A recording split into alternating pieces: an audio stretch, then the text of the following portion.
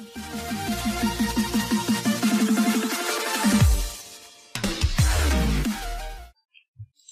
นนี้มีน้องหมานะครับ น้องหมาด้านซ้ายล่างจอนะครับว่ามีคนกดไลค์ยี่สิบเจ็ดคนแล้วนะครับ กด love อีกยี่สิบเจ็ดเอ้ยกด love อีกเจ็ดคนนะครับ ขอบคุณมากครับ โอเคไปเรามาเริ่มกัน ทีเนี้ย เมื่อเราพิมพ์ข้อความแล้วอะเมื่อเราพิมพ์ข้อความแล้วปุ๊บเนี่ย เมื่อเรากด refresh เนี่ย มันก็จะหายไปถูกไหมครับ มันก็จะเอ๊ะ มันก็ไม่ได้คุยกันจริง ๆ นี่นาเห็นคุยอะไรไม่ได้เลย เพราะฉะนั้นเราจะต้องมี database เพื่อที่จะมารองรับสิ่งนี้นะครับ จากนั้นให้เราไปที่แชทไปที่ไฟล์เบสของเราเนาะไปที่ไฟล์เบสของเราทีนี้ อันนี้มันเป็นไฟล์เบสแบบแบบรูปแบบใหม่นะ UI ใหม่ ก็เพิ่งรู้เมื่อสองสามวันก่อนนี้เอง พยายามลองมาเข้าใจอยู่ ขั้นแรกนะครับ เราก็จะเข้ามาที่ Database และให้เริ่มต้นใช้งาน Real Time Database นะครับอย่าใครไม่ทันแป๊บนึงนะ เมื่อเข้ามาที่หน้าคอนโซลตัวนี้ ให้เราเข้ามาที่ Database นะ โอเค แล้วให้เราเข้ามาที่ Real Time Database นะครับ ให้คลิกที่เริ่มต้นใช้งาน ซึ่งซึ่งสิ่งที่ผมเพิ่งรู้เนี่ย มันมี Cloud File Store เข้ามา ซึ่งยังไม่ได้ลองเล่นนะครับว่ามันทำอะไรได้บ้าง แต่คิดว่ามันน่าจะใช้ได้ดีเลยแหละ แต่เอาแค่นี้ก่อน เมื่อเราเข้ามาตรงนี้แล้วเนี่ย ทีเนี้ยมันจะมีข้อมูลมีกฎ มีข้อมูลสำรอง มีการใช้งาน ก็คือ limit การ Data Transfer ต่างๆ ว่าเราใช้ข้อมูลแบบนี้ไปเท่าไหร่แล้วอะไรยังไงแล้วนะ เมื่อเกิน limit เนี่ยมันก็จะให้เสียเงินนะครับ บอกไว้ก่อนนะ มันจะมีให้อัปเกรดอยู่ว่าเราจะเลือกแบบไหน อืม แต่ฟรีนี่ก็ใช้ได้ดีนะ ผมจบ ผมจบ project ด้วยตัวฟรีมาก็ก็ได้อยู่นะครับ แต่บาง project ก็ฟรีไม่ได้จริงคนเข้าเป็นพันเลยไม่ไม่ได้ไม่ได้ แต่ก็เสียไม่เยอะนะ เคยเขียนเว็บ เว็บเว็บพวกแชทพวกทำ live stream พวกเนี้ย เสียประมาณแค่ดอลลาร์สองดอลลาร์เองนะไม่เยอะเท่าไหร่ โอเค เมื่อเราเข้ามาแล้วเนี่ย เราจะเห็นว่าตรงเนี้ยมันคือมันคือพื้นที่ฐานข้อมูลของเรานะครับ ขอบอกก่อนนะครับว่ามันเป็นฐานข้อมูลแบบ NoSQL นะ หรือเป็นฐานข้อมูลแบบเอ่อ JSON อะเราลองพิมพ์เล่นๆดู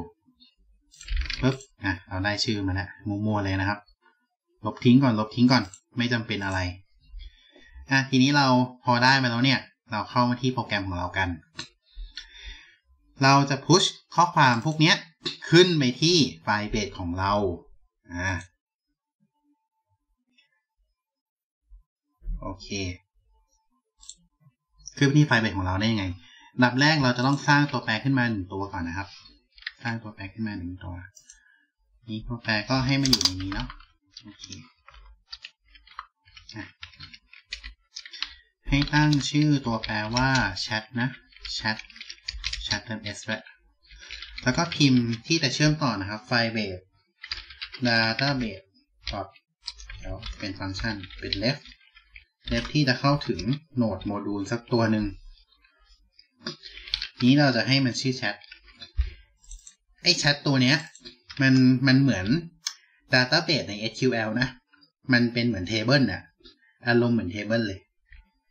โอเค จากนั้นเมื่อเราเข้าไปแล้วเนี่ย เราจะพุชข้อมูลขึ้นบน Database ได้ยังไง ง่ายมาก ๆ ง่ายสุดๆ วิธีการนะครับ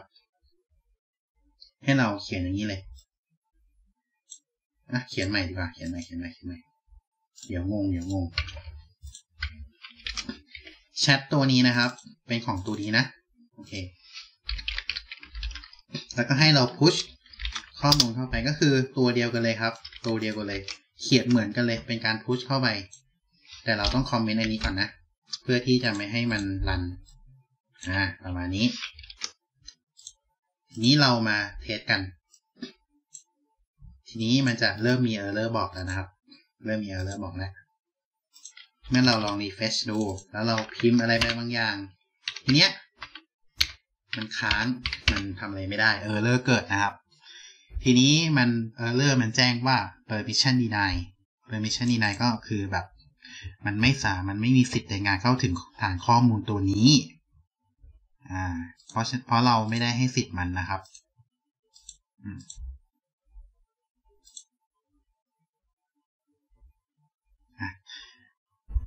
เราเนี่ยจะต้องเข้าไปที่ rule ก็คือ rule หรือกฎกฎของมันก่อน กฎของมันเนี่ย ก็จะมีอยู่หลากหลายนะครับ ก็จะมี read กับ write ก็คืออ่านและเขียน ทีนี้ แบบนี้เราจะตั้งให้มันเป็น true ก่อนนะ ตั้งให้มันเป็น true ทั้งสองตัวก่อนเลย ตรงนี้ใครที่กำลังดูแลอยู่แล้วแบบคันเทพอะ่ะ อย่าแกล้งผมนะ จริงๆ ถ้าเกิดคนรู้อะขอบคุณสำหรับ subscribe ด้วยนะครับ ถ้าเกิด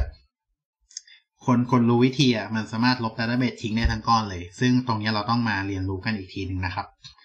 อะเราจะตั้งเป็น true ทั้งหมดเลยนะครับอะประมาณนี้ ทีนี้จากนั้นเนี่ยเราจะเริ่ม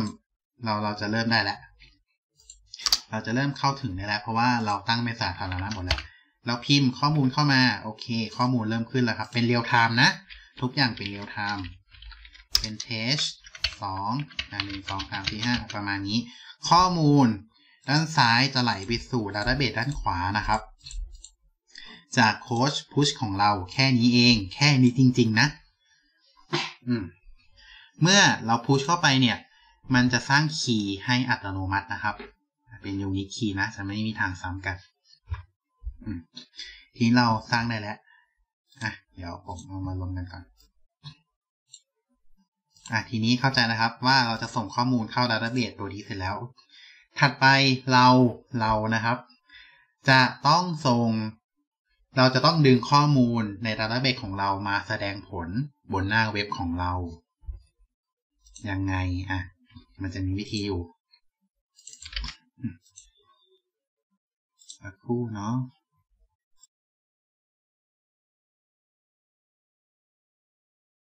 ผมกินน้ำแป๊บหนึ่ง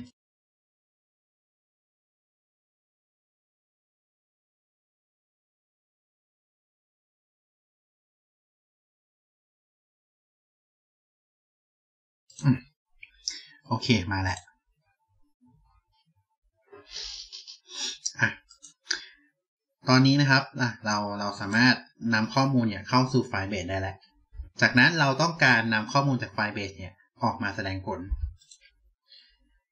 ให้เรามาพิมพ์ข้างล่างนี้นะครับ เป็นแชทโอเคแชทอันนี้ก็จะเป็น chat on เดี๋ยวเดี๋ยวเดี๋ยวเดี๋ยวขอบคุณสำหรับ subscribe นะครับ เป็น chat on ก็คือจะเช็คอีเวนต์ว่าตอนเนี้ย value ของเราอะอยู่ในสถานะไหน เราก็จะเขียนฟังก์ชันแบบนี้นะ โอเค เราก็จะมี parameter หนึ่งตัว จะตั้งชื่อว่า snapshot นะครับ snapshot อืม snapshot มี s แล้วจากนั้นให้เรามา console log ดู console log ว่าไอ้ snapshot เนี่ย มันจะได้อะไรมาหรือเปล่า เพราะฉะนั้นเราจะต้อง ใครรับมา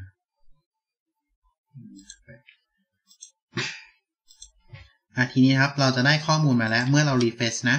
เราจะได้ข้อมูลมา แต่เป็นข้อมูลอะไรก็ไม่รู้มันมั่วหมดเลย อ่านไม่ออก ทีนี้มันก็เลยจะมีฟังก์ชันอีกตัวหนึ่งชื่อว่า val นะครับ ก็คือ value เนี่ยแหละ เราจะดู value ของมันที่ที่มีอยู่ใน database ตัวนี้ เมื่อเรา refresh เนี่ย เราก็จะได้ข้อมูลมานะครับ 20เทสหนึ่งมาที่5 6 เนี่ยได้มานะครับ ตามนี้เลยข้างในที่เป็นคำว่า text นะครับ พอเมื่อเราได้มาแล้วเนี่ย เมื่อเราได้มาแล้ว เราจะต้องการ loop loop เพื่อจะเอาออกไปแสดงนะครับทีนี้ผมจะลบอันนี้ทิ้งนะโอเคเราจะลบคอนโซลออกนี้ออกด้วย ทีนี้เมื่อตอนแรกเราสร้าง scope message ไว้นะครับ ให้เรานำเข้ามาที่ข้อมูลตรงนี้ โอเค จากนั้นนะ จากนั้นนะครับให้เรา for each ก็คือ loop ข้อมูลที่อยู่ในไฟล์เบสอีกรอบหนึ่งเพื่อจะนำมาแสดงผล เราก็ใช้เป็น for each นะครับ each นะ แล้วก็ฟังก์ชันประมาณนี้นะครับ ข้างใน for each ของเราเนี่ย จะมี parameter หนึ่งตัวก็ชื่อว่า snap นะ เรามาดูก่อนไอ้ snap ตัวเนี้ยมันมีอะไรลบตรงนี้ทิ้งก่อนปุ๊บ เมื่อเรา refresh แล้วเนี่ย ข้อมูลก็จะมาแล้วเป็น object ย้ำนะครับว่าเป็น object ซึ่งก็อ่านไม่รู้เรื่องอีกแล้วคืออะไร สูตรเดิมนะครับ ใช้ฟังก์ชันว่า val มันก็จะมีข้อมูลบอกมาแล้วว่า นี่นะ20นะ เนี่ยข้อมูลประมาณนี้ตรงกับ Database ที่เรามีนะอะทีนี้เราจะสังเกตว่ามันเป็น Object หมดเลย ถูกไหมครับ ซึ่งเราจะวนลูปข้อความได้เนี่ย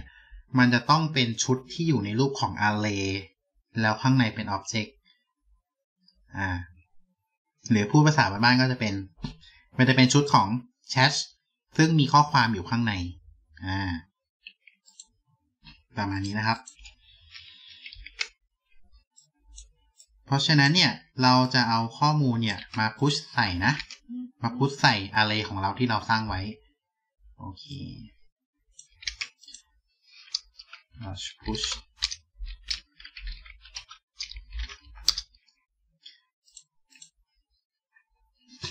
ใน push ใน array ของเราเนี่ย ในแต่ละ object อะครับ เราจะตั้งชื่อมันว่า ว่าว่า text นะอ่าแต่แต่ในที่เนี้ย เรามี object คำว่า text อยู่แล้วอะเราก็สามารถโยนได้เลยอืมเราก็สามารถโยนแบบนี้ไปได้เลยนะ เดี๋ยวมาลองดูกัน เมื่อเราโยนอันนี้ไปแล้วเนี่ย ให้เรามาเทสดูนะครับว่า มันเป็นข้อมูลที่โอเคหรือเปล่า เป็นข้อมูลที่เราต้องการหรือเปล่า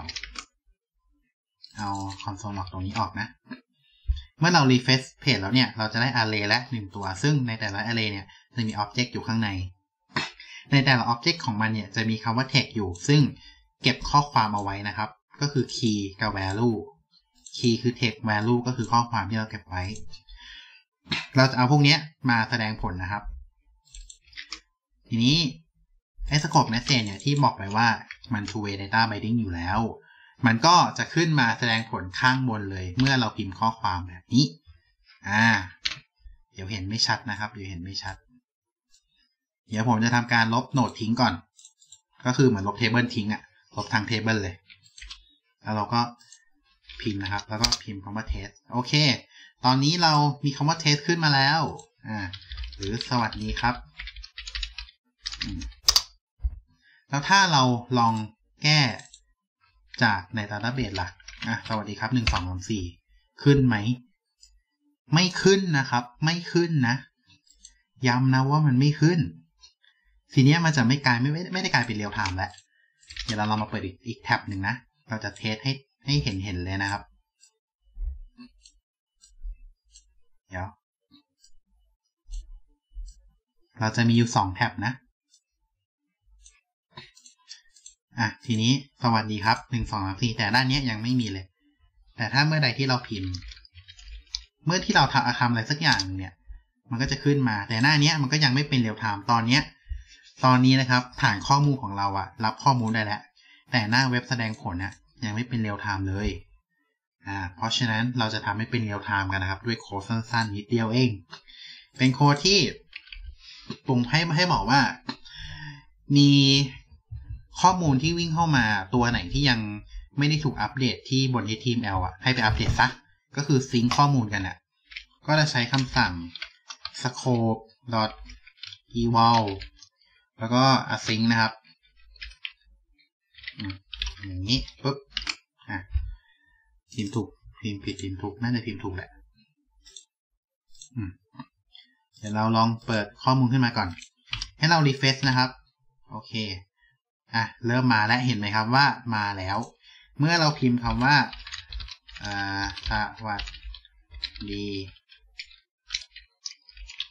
ครับ นี่นะครับ เราก็จะได้ตัวเรียลไทม์ขึ้นมาแล้วอ่าจะได้ตัวเรียลไทม์ขึ้นมาแล้วนะครับ อันนี้ก็คือจะเสร็จแล้วอะงงเลยสิครับใจเย็นๆนะ เดี๋ยวเราจะลองลบโหนดทิ้งให้หมดก่อน จะลบโหนดทิ้งให้หมดก่อนประมาณนี้ แล้วเราจะ พิมพ์สวัสดีครับ โอเค อีกหน้าหนึ่งก็จะเห็นถูกไหมครับอะทีนี้คนที่ดูอยู่ดูอยู่นะ เดี๋ยวผมจะอัพขึ้นโพสให้ แล้วก็ลอง test กันนะครับ สามารถพิมพ์เข้ามาได้นะ เดี๋ยวรอผมสักครู่นะครับ เดี๋ยวผมจะอัพให้เอ่อที่แชทแล้วก็ลบทิ้งใช่ไหมโอเค ประมาณนี้ เดี๋ยวผมจะเข้าเว็บไซต์ก่อนนะครับ ก็ basic chat อะผมอัพอัพขึ้นให้แล้วอะสวัสดีครับตรงนั้นนะ ทีนี้เดี๋ยวผมจะโยนเข้าไปที่ไลฟ์นะครับ ถ้าใครเห็นแล้วเนี่ย ก็สามารถกดดูได้นะอะทีนี้ ถ้าใครดูอยู่เนี่ยก็ดูที่ตรงปักหมุดนะครับ แต่ถ้าในมือถือรู้สึกว่าน่าจะกดไม่ได้นะ น่าจะกดไม่ได้อยู่นะ โอเค ถ้าใครเข้ามาแล้วก็ก็ลองก็ลองพิมพ์เล่นๆดูนะ ลองพิมพ์ดูนะครับ ทีเนี้ยอย่าด่ากันนะ พิมพ์ปกตินะครับ ลองพิมพ์เข้ามาลองพิมพ์ test เข้ามานะครับ ว่าว่ามันใช้ได้ไหมในแอปที่เขียนไว้ อ่า ประมาณนี้ นี่คือเป็น basic chat เล่นๆนะครับ เป็น basic chat เล่นๆอ่า ลองพิมพ์สวัสดีทักทายได้นะ โอเค ประมาณนี้นะครับ ซึ่งมาใส่ครับดูไม่ทัน อธิบายโค้ดหน่อยครับ โอเค เดี๋ยวผมอธิบายอีกรอบนึงอืมอันนี้ก็เป็น basic chat นะ ถ้าจะทำให้แชทเป็น advance มากกว่านี้มันก็ต้องมีการคุยซ้ายกับขวา เหมือน Facebook เลยซ้ายกับขวา แล้วก็มี scroll ขึ้นลงประมาณนี้นะครับ ซึ่งซึ่งซึ่งเดี๋ยว advance เนี่ยเดี๋ยวว่ากันอีกทีหนึ่งอะแต่นี้ก็แค่ basic ให้มันแบบ เห็นภาพรวมเฮ้ยมันทำได้นะ มันทำกันง่าย ๆ เลย โค้ดแค่ไม่กี่บรรทัดเองฮะเจ็บป่วยให้ไปหาหมอ ถ้าเจ็บจากคนไม่รู้จะพอให้มาหาเราฮิวฮิวเลยครับน้องหมาฮิวโอเค อะขอบคุณมากครับ ทีนี้เดี๋ยวจะมาอธิบายโค้ดนะ อธิบายโค้ดอีกหนึ่งรอบนะครับ อะ